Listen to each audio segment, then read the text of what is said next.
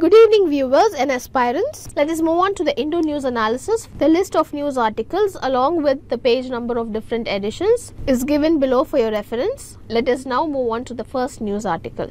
See this article from page 1 which is about the launch of a new army tank named Arjun MK-1A Yesterday, Prime Minister handed over this new indigenously developed tank to the army and he also talked about the need of self-reliance in the defense sector. In this context, let us have a brief discussion on Arjun tank, DRDO and DAC. See, the Arjun main battle tank project was initiated by DRDO in 1972 with the Combat Vehicles Research and Development Establishment or CVRDE as its lead laboratory.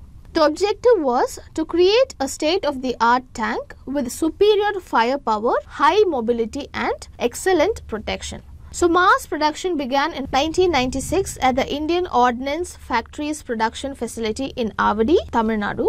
The Indian Army received the first batch of 16 tanks in 2004 and in 2009 the first Arjun regiment of the Indian Army had 45 tanks. By 2011, over 100 tanks had been delivered. In 2010, the Indian Army ordered another 124 Arjuns. The Ministry of Defence ordered another 118 of the Arjun MK-1A. These are the units now being inducted at a cost of over 8,400 crore.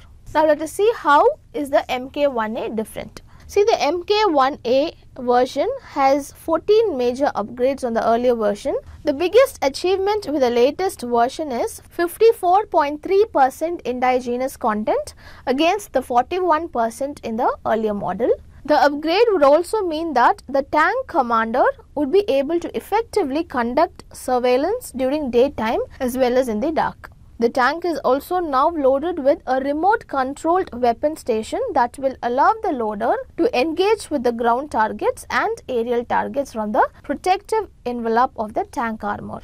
And in terms of protecting the tank crew, tank can cross minefields without any hindrance as the minesweeper would easily create a mine-free path. One of the most striking features of this tank would be the protection against chemical attacks. A special sensor has been loaded on the tank which detects the presence of harmful toxic chemicals in the atmosphere around the tank. The sensor detects the harmful chemicals, triggers an alarm and prevents toxic air from entering the tank and the tank crew get their air through a particulate filter for their survival. As said before, this tank has been developed by Combat Vehicles Research and Development Establishment, which is a research lab of DRDO. And as we know, DRDO is the research and development wing of the Ministry of Defense with a vision to empower India with cutting edge defense technologies and a mission to achieve self reliance in critical defense technologies and systems. At the same time, equipping our armed forces with the state of the art weapon systems and equipment in accordance with the requirements laid down by the three services. Some of the indigenous systems developed by the DRDO are Agni and Prithvi series of missiles, the light combat aircraft Tejas, multi-barrel rocket launcher Pinaka, air defense system, Akash, etc.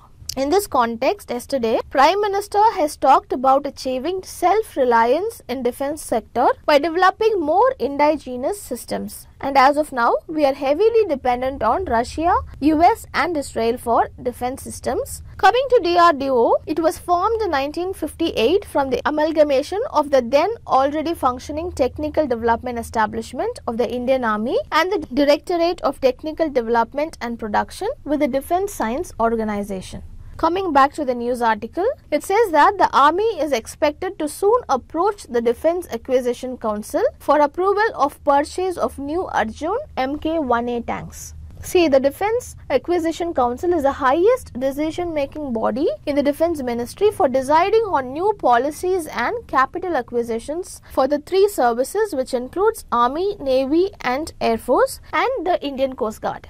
It is chaired by the Minister of Defense pursuant to the recommendations of the group of ministers on reforming the national security system. It was set up after the Kargil conflict of 1999. With this info, let us move on to the next news article. This news article talks about a traditional art form called Terukuthu, which is a rural folk theatre of Tamil Nadu. So therefore it is a theatre art form. In this, Teru means street and Kuthu means play. So therefore Terukuthu is nothing but a street play. It is a traditional and popular form of folk theatre from the interiors of Tamil Nadu and this art form is said to be confined to Tondai Mandalam of Tamil Nadu. See, this Tondai Mandalam is an ancient division of the Tamil country which comprises roughly the present districts of Tamil Nadu, namely Kanchipuram, Chennai, Tiruvallur, Vellore, and Tiruvannamalai. In Terukuthu, the performance is a combination of three main modes of creative expression that is, verse recital, song, and dance. It serves as a means of entertainment for rural folks and it also displays a ritualized trajectory of traditional human values.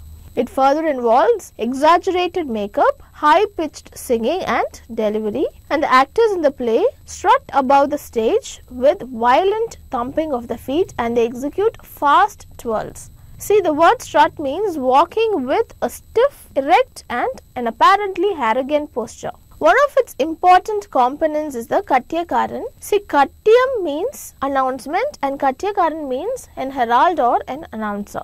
This Katyakaran is a person who usually stays behind the curtain during the play and he occasionally comes out.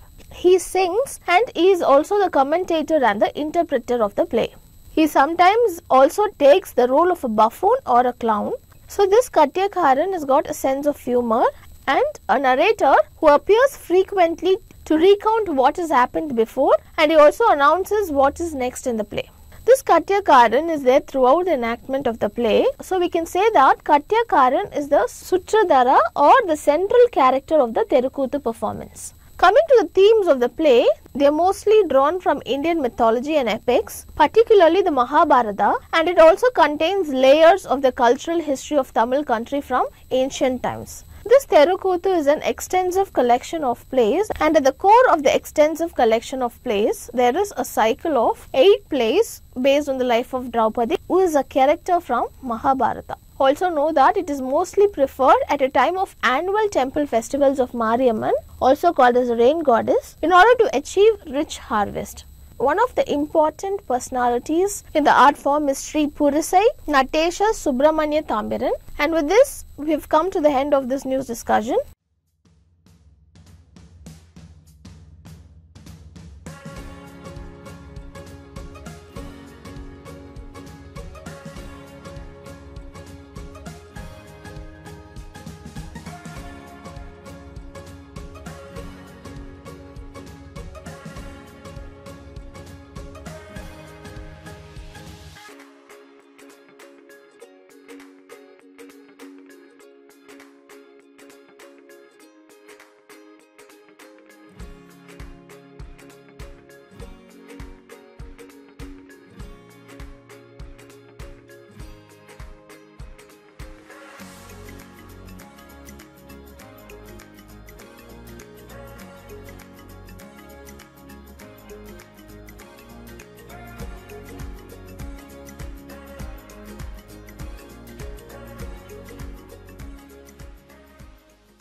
This article says that researchers have discovered three fossils of the earliest known living animal, which is the 550 million year old Dickinsonia at the Bhimbetka rock shelters. In this context, let us discuss in brief about Dickinsonia and then about Bhimbetka shelters in Madhya Pradesh. So, what is this Dickinsonia?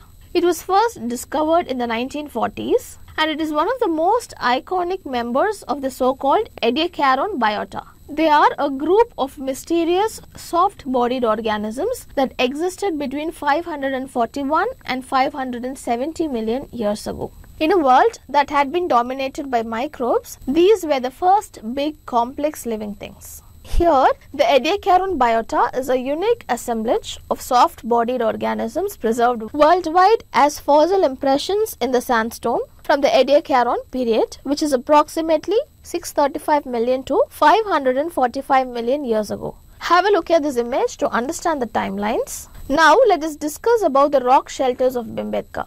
Located in Madhya Pradesh, it is one of the largest groups of prehistoric painted shelters in the world. These rock shelters fall in the Ratapani Wildlife Sanctuary in the Vindhya range. Besides prehistoric remains, a large number of Hindu and Buddhist archaeological remains are also found here. The name Bhimbetka comes from the Hindi word Bhimbaitka, which means the seat of Bhima, who is one of the heroes from the epic Mahabharata.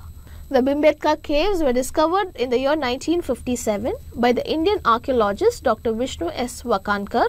See, the earliest rock paintings at Bhimbetka are around 10,000 years old and they are rendered in three main colors including red, white and green. The main forms of rock art at Bhimbetka are petroglyphs or engravings, geoglyphs or large design produced on the ground by arranging rocks, rock bruising which refers to images made by the chipping away of weathered rocks and pictographs or paintings made on stone. See the most common compositions consist of animals like elephants, antelopes, lions, monkeys and especially bulls and cows as well as humans in groups or alone. You know that these five groups of rock shelters were recognized by the UNESCO as a World Heritage Site in the year 2003.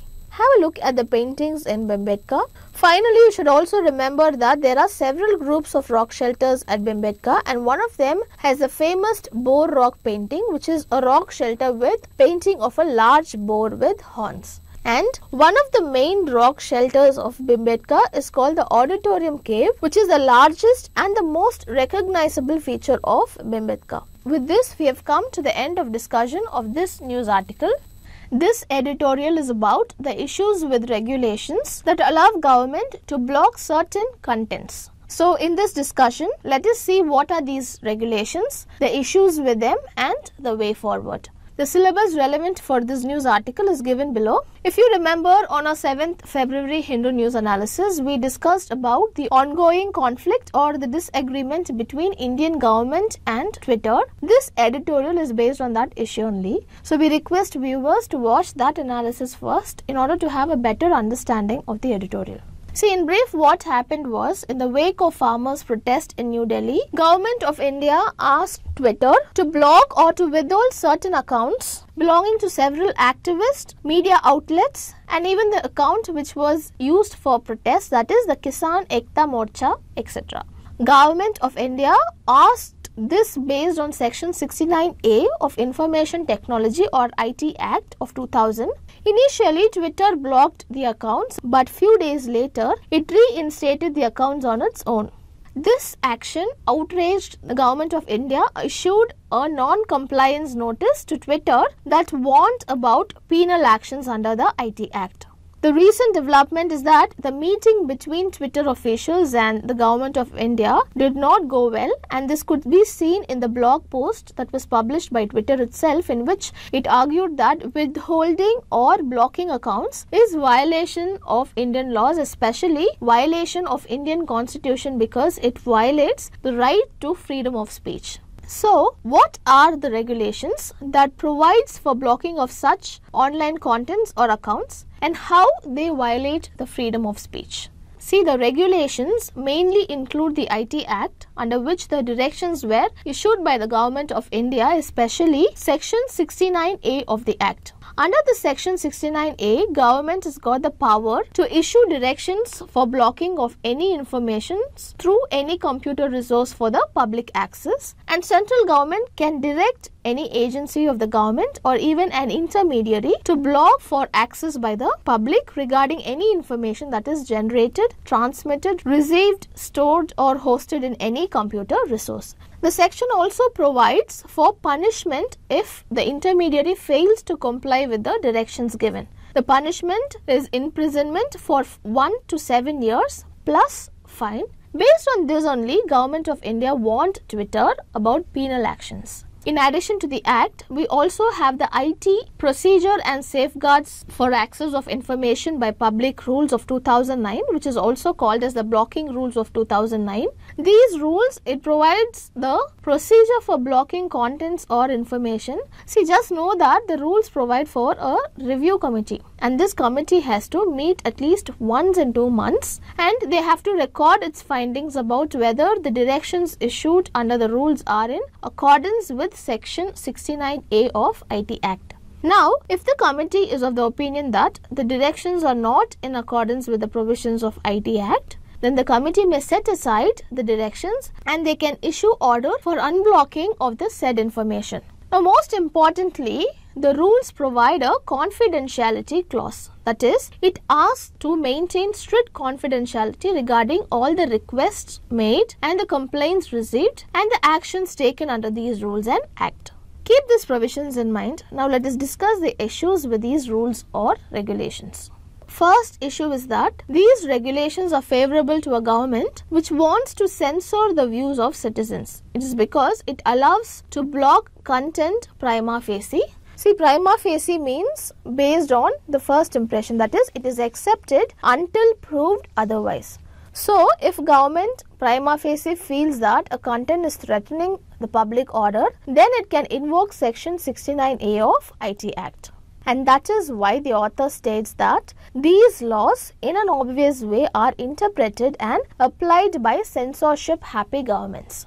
So this in turn restricts online free speech rights of Indian citizens. Thus, it is violative of a fundamental right and not just simply violative of a constitutional right because it violates the right to freedom of speech under Article 19 Clause 1 Clause A of Indian Constitution. But you should also note that this fundamental right is not an absolute right that is it is not unrestricted. As under Article 19 Clause 2, restrictions on the right to freedom of speech may be imposed under these grounds that are given below. But still, blocking of accounts or content is said to be violative of Article 19 Clause 1 Clause A as experts feel that the content prohibited under the IT rules may not meet the requirement of Article 19 Clause 2.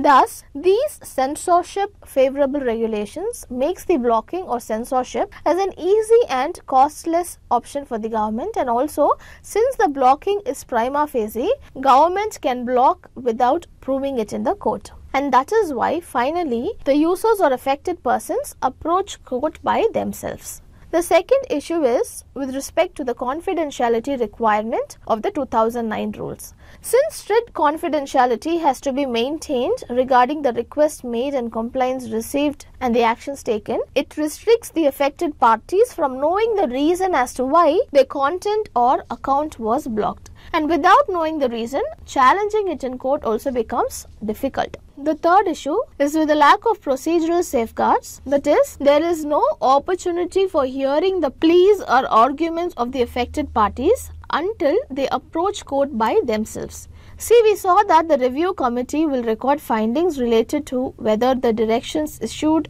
under the 2009 rules are in accordance with the provisions of the IT Act and if not, the content will be unblocked but there is no provision to hear the pleas of affected parties. Thus, the regulation also violates the right to due process. After discussing these issues, you may wonder that such blocking has been happening for a long time now. So why Supreme Court did not interfere? To answer this, you need to know the 2015 judgment in the case law Shreya Singhal versus the Union of India.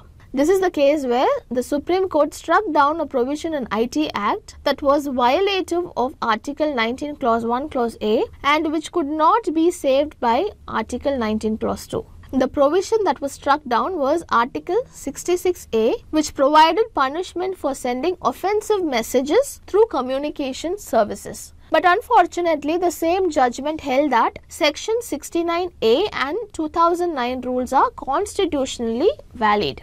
Additionally, the court specified that blocking orders must be reasoned and they must be in writing so that they may be challenged under Article 226. But according to the author, there is an issue with this as even though Supreme Court prescribed for reason to be recorded in writing, it is not followed by the governments in recent events. And one reason for this is the lack of clarity in the judgment. This means that there is an issue of unclear jurisprudence.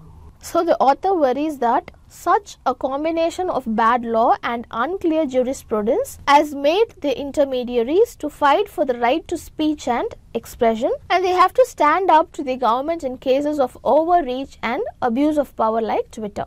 So what is the need? See, there is an urgent need for legal reform as well as jurisprudential reform The legal reform could be to prohibit the government from directly ordering intermediaries to block access to online information or such orders should be allowed to be imposed only in certain emergency cases. Also, such orders should go through court and affected parties should be provided opportunities to defend themselves. And then blocking orders should be made public. With this, we have come to the end of this news article. Let us move on to the next news article.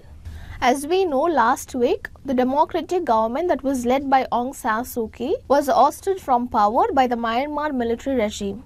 And the military junta have detained her and arrested other anti-coup protesters as well. So this news article says that Myanmar's new military regime warned the public not to harbor fugitive political activists. So in this context, let us discuss in detail about Myanmar, its geography and troubled history, etc. The syllabus for this news article is given below. See, Myanmar, formerly known as Burma, is a country that is located in the western portion of mainland Southeast Asia.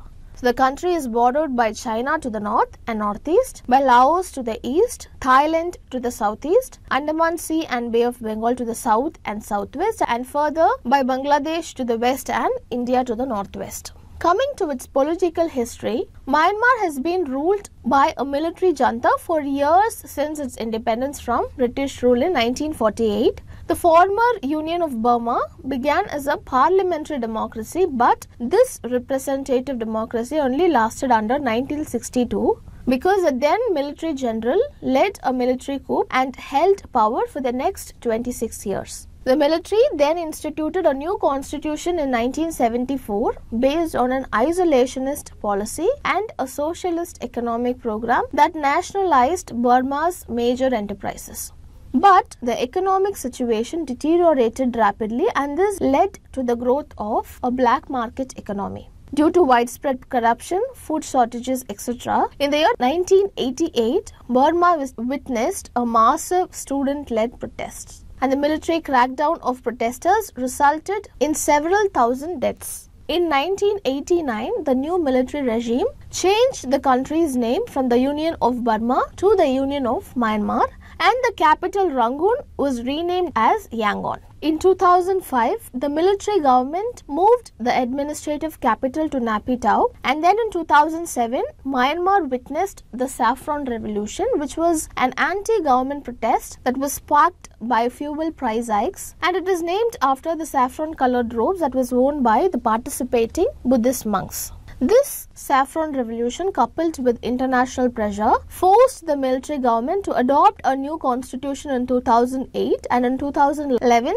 the military junta dissolved giving way to a military installed transitional government. The country's long-time opposition party, the National League for Democracy, that was led by Aung San Suu Kyi, won majorities in both chambers of the parliament in 2015. Remember, this Aung San Suu Kyi is a 1991 Nobel Peace Prize laureate who rose to prominence during the 1988 protests. And after the crackdown, she and others formed the NLD opposition party and she was detained in 1989 and she spent more than 15 years in prison and house arrest until her release in 2010.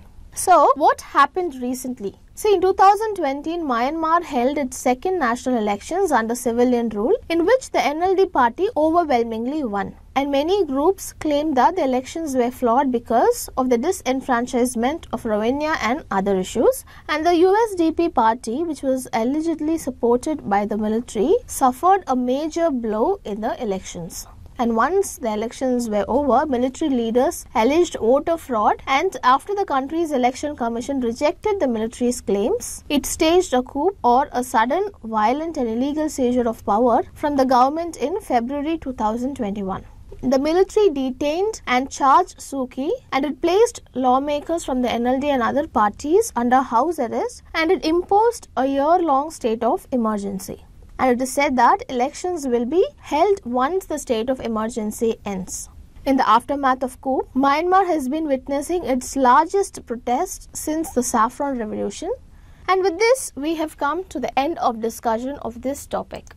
Now this news article is about FASTag. The news says that from today night, vehicles not having FASTag cards will be charged double the fee at toll plazas that are managed by the National Highways Authority of India. This is being mandated based on the National Highways Fee Rules of 2008.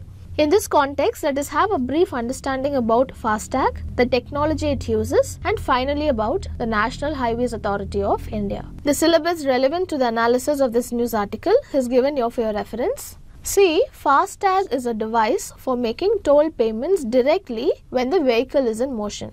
And this FASTag, it works with RFID technology. Now, let us see about this RFID technology. Here RFID is nothing but the radio frequency identification technology. One of the most important effects of this technology is that it enables tracking the movement of men, materials and vehicles. This technology is an automated data collection technology and it uses radio frequency waves to transfer data between a reader and a movable item. Now, you need to know that there are two types of RFID. One is active RFID and the other one is passive RFID. The main feature that differentiates both these RFIDs is that in active RFID system, the RFID tag works with an internal power source and in the case of passive RFID tag, they work with no internal power source. So the first major difference between them is related to the power source. The second difference is the cost for passive RFID tag is very less when compared to active RFID tag. One more difference which you need to know is that the range of operation is slow in the case of passive RFID tag when compared to active RFID tag. Now let us see how this passive RFID tag works. See there will be RFID reader which is fixed at a particular spot and this RFID reader will transmit the electromagnetic energy to the passive RFID reader. So the presence of RFID tag is read by the reader. So, in case of FASTag system, the fixed spot for the RFID reader is the toll plazas as you can see in this picture. When the vehicle with the passive RFID tag passes the toll plazas, the passive RFID tags are powered by the electromagnetic energy that is transmitted from the RFID reader. So, this indicates that the vehicle is crossing the toll plaza. You should know that the FASTag IDs in the vehicles will be linked to a prepaid account or a savings or current account of the customer. So as the vehicle moves across or crosses the toll booth, the payment will be directly deducted from the FASTag linked account of the customer. If an account does not have balance, then the vehicle will be blacklisted and therefore the person on the vehicle has to manually pay the toll payment. You should also remember that this FASTag is vehicle specific. So as a result, once it is affixed to a vehicle, it cannot be transferred to another vehicle. So this is all about FASTag and the RFID system that you need to know from the exam point of view. See, this FASTag is going to be a very important part of the National Electronic Toll Collection Program. And this National Electronic Toll Collection Program has been developed by the National Payments Corporation of India. So having done with the FASTag, let us now talk about the National Highways Authority of India. See, it was constituted by an Act of Parliament in the year 1988 under the administrative control of the Ministry of Road Transport and Highways. Note that the NHAI has been set up as a central authority to develop, maintain and manage the national highways that is entrusted to it by the Government of India. The authority, however, it became operational in February 1995. Remember, the authority consists of a full-time chairman and not more than five full-time members and four part-time members who are appointed by the central government. So the part-time members include the Secretary of Road Transport and Highways, the Secretary of Expenditure, the Secretary of Planning and the Director General of Road Development and a Special Secretary also know that this NHAI has got technical, finance, administrative and vigilance wings at its headquarters. So with this we have come to the end of this news discussion. Let's see what the next news article talks about.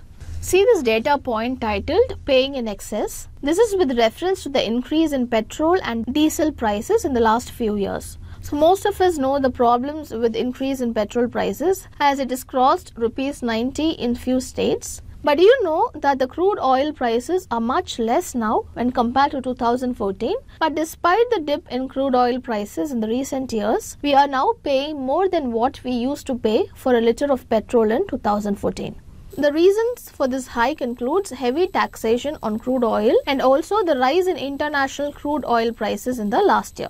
See, the basic price of petrol in Delhi without taxes is just 30 rupees but what we are paying is around 90 rupees. This is mainly because of the center's tax of 33 rupees and the state tax of around 20 rupees. If you see the price breakup of the center's taxation, basic and special additional excise duty comes around 12 rupees. The road and infra cess is around 18 rupees and the new budget proposed a new cess called agricultural infrastructure and development cess which is around 2.5 rupees. So therefore center's tax is 12 rupees and the cess is around 20.5 rupees. On top of it, state governments are charging around 20 rupees as tax. So we are paying 53 rupees as tax and cess on petrol on a base price of 30 rupees and this will further be increased by adding dealer commissions totaling to around 90 rupees. But the main problem here is not the extra money government is charging on us but not using the cesses for defined purpose.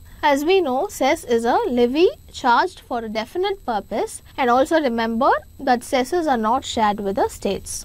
For example, the road and infra cess should be used for laying roads and developing infrastructure. Similarly, the new aid cess should be used for developing agricultural infrastructure. But unfortunately, government is not using the cesses for defined purposes. See, for example, government has collected 1.25 lakh crores as crude oil cess from financial year 2010 to 2019.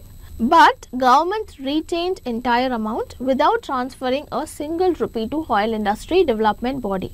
Similarly, as you can see here, for the financial year 2019, out of the total cesses collected, the government itself has appropriated 40% of the cess revenue and this even includes GST compensation cess, ideally which should be given to states which are affected by the introduction of GST. And this will seriously dent the sectors for whose development the cesses are being levied, the fiscal health of union government and also public confidence in the government. This will seriously dent the sectors for whose development the cesses are being levied, the fiscal health of union government and also the public confidence in government. Adding to this, by not giving states their rightful share from GST compensation cess, the fiscal federalism as well as the financial health of states will also be affected. Now let us move on to the prelims practice questions. Look at this prelims practice question. Which of the following defense systems are indigenously developed in India? The first one is Pinaka rocket launcher, then is Tejas LCA, then S-400 missile defense system, Phalcon airborne warning and control systems and Chinook helicopters. So while we were discussing about the Defense Research and Development Organization, we came through some of the indigenous systems which includes Agni, Prithvi, Tejas, Pinaka, Akash, etc. So based on that discussion, when you look into the options, you find that Pinaka and Tejas were a part of indigenous development defense systems. Since the question wants us to identify the right options, the correct option is option A that is 1 and 2 only. So this prelims questions based on the data point article wants us to find out the cess that have been abolished with the rollout of goods and services tax in 2017 and the options provided include Krishi Kalyan cess, Swachh Bharat cess, Agricultural and Infrastructure Development cess and Road and Infrastructure cess. So when you look back at the list of cesses being abolished, you can find that in the year July 2017, Swachh Bharat cess and the Infrastructure cess and Krishi Kalyan cess have been abolished by the Taxation Laws Amendment Act of 2017. See, when you look back at the list of cesses that was abolished, you can find that the Swachh Bharat cess and the Krishi Kalyan cess have been abolished by the Taxation Laws Amendment Act of 2017. So, therefore, the right answer is option a that is 1 and 2 only because this agricultural and infrastructure development cess and road infrastructure cess has seen in the article discussion continues to be in effect and they are not abolished. Look at this prelims practice question related to Terukuthu. So we need to identify the correct statements here. Statement 1 says that it is a theatre art form from the state of Tamil Nadu. So as seen in the discussion, this statement is relevant and it is correct. Statement 2, the commentator and interpreter is known as Kattiyakaran. So we have discussed even this in the news discussion. So statement 2 is also correct. We look at the statement 3. It is performed to narrate the life and deeds of Lord Krishna. But when you look into statement 3, this statement is incorrect because it is not entirely based on the life and deeds of Lord Krishna, but one or two plays may be based on this. Because themes of the plays are drawn from Indian mythology and epics, particularly the Mahabharata, it also contains layers of the cultural history of Tamil country from ancient times. And at the core of the extensive collection of plays, there is a cycle of eight plays based on the life of Draupadi, who is a character from Mahabharata. Since the question wants us to identify the correct statement, the right option is option C that is 1 and 2 only. So this question related to the Myanmar article asks us to identify or to choose the countries which shares border with Myanmar. As you can see in the map, among the five countries provided, it is Laos, Thailand and Bangladesh which shares borders with Myanmar. So therefore the right answer is option C that is 1, 2 and 4 only. Now look at this prelims question. It says the term Dickinsonia recently seen in news is Option A, the first space mission to Mars by an Arab country. Option B, the oldest Neolithic settlement discovered in northeast India. Option C, a group of soft bodied organisms that existed between 541 and 570 million years ago. And option D, a morphological adaptation of an animal to living in the constant darkness of caves. So as seen in the discussion, the right option is option C which is a group of soft bodied organisms that existed between 541 and 570 million years ago. Look at this prelims practice question related to FASTag. The question wants us to identify the correct statement. So the first statement says that FASTag uses an active RFID technology with the help of which the payment towards highway tolls will be directly deducted from the FASTag linked account of the customer. And the second statement says that once it is affixed to a vehicle, it cannot be transferred to another vehicle. So as seen in the discussion, when you take the first statement, it is incorrect because as seen in the discussion, FASTag uses a passive RFID technology and not an active RFID technology as mentioned in the statement. So therefore the first statement will be wrong. Coming to the second statement, we know that FASTag is unique and it is specific to every vehicle. That is, once it is affixed to a vehicle, the FASTag cannot be transferred to another vehicle and if it is transferred, it will not be effective. So therefore, since the question asks us to choose the right statement, the correct option will be option B that is 2 only because only the second statement is right.